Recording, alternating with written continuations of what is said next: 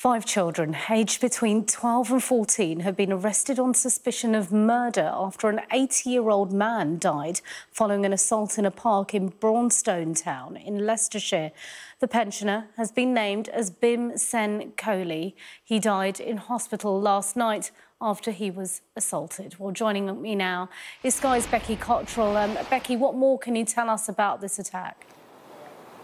Well, yeah, we know that he was walking his dog, that that was something he did on a daily basis, and that the attack happened um, near to the entrance of the park near to which he lived, which would suggest either he'd just set off on his walk or he was just coming back. And it really is shocking to hear the age of those that have been arrested um, a boy and a girl aged 14, uh, and a boy and two girls aged 12. And we spoke to a neighbour of Mr. Sen Kohli's who said that he'd spoken to the family and they said um, that he had sustained some kind of serious neck injury. But at this point, the police haven't put any more details out about what happened in that attack or how Mr Sen Kohli um, was injured. We also found out from his neighbour a few more details about him.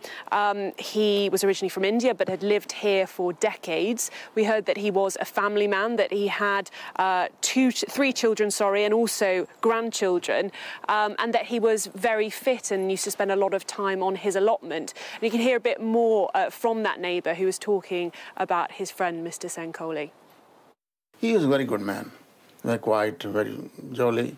So he's all right. He never had any problem, never heard anything, shouting, anything like that. Yeah, he's a family man. Yeah, he was a very nice man. Yeah, very nice. It's really shocking what happened, you know. No, I never thought, you know, it would happen like this. It's only, always, this busy park. I never thought they might do this thing like this. And we've been speaking to people who live around here who are very shocked, as you would expect, by this, but also now fearful for their own safety. You know, this is a park where a lot of people will go out and walk their dogs, um, particularly the elderly around here. They are now uh, afraid to go out, and really, they're looking for more answers from the police as to what exactly happened. Becky, thank you.